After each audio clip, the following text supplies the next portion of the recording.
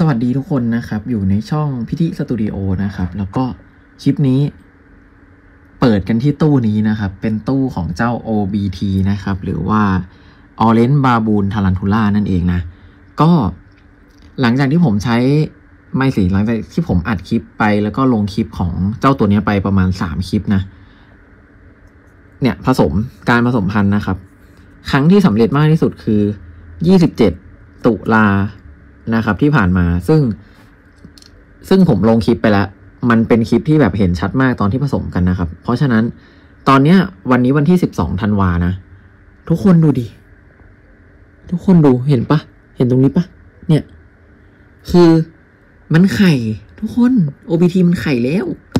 แต่แต่แต่แต่แต่แต่ไข่แล้วทำไมไม่ถึงไม่เอาทำไมตัวแม่เขาถึงไม่ห่อไข่อะ เข้าใจไหม คือมันมันเนี่ยอย่างอย่างอย่างพาราผมใช่ป่ะเนี่ยมันต้องมันจะเป็นลูกกลมๆอย่างเงี้ยทุกคน ถ้าสำหรับคนคนที่รู้แล้วก็จะเป็นแบบ ก็จะมันไม่มันเขาเรียกว่าไง ไม่รู้จะอธิบายทำไมใช่ไหมแต่ถ้าคนไม่รู้คือ แมงมุมพอมันไข่ออกมาครับ มันจะเป็นน้ำเหลวๆก่อน แล้วเขาก็จะปั้นใยเขาอะให้เป็นก้อนกลมๆแบบนี้ แล้วก็กิ้งไปกิ้งมาเพื่อให้เชื้อมันผสมกับตัวของไข่นะครับ ที่เขาจะปล่อยมา แต่ทีเนี้ย อันเนี้ยคือ คืออะไร คืออะไรทำไมถึงไม่ เนี่ยทำไมถึงไม่ห่อเข้าใจไหมทุกคนคือเขาเขาปล่อยไข่ลงมาแล้วอะ่ะ แล้วทีนี้ปกติแล้วนะครับ เท่าที่ผมเคยเห็นอะ่ะพอมันมันปล่อยออกมาเสร็จปุ๊บแล้วเขาก็จะใยปิดข้างบนอีกทีหนึ่งซึ่งอันนี้ปิดแล้วนะแต่ก็ปิดไม่ได้เยอะมากนะครับ ตามที่เห็นนะเห็นปะ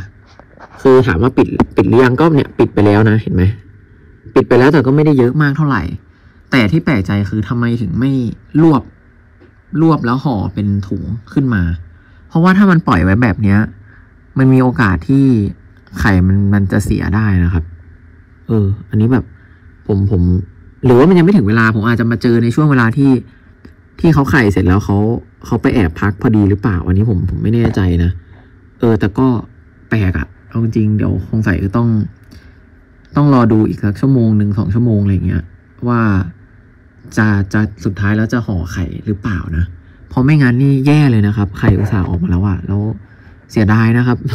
เสียดายมากคืออยากให้มันแบบห่อให้มันเรียบร้อยนะ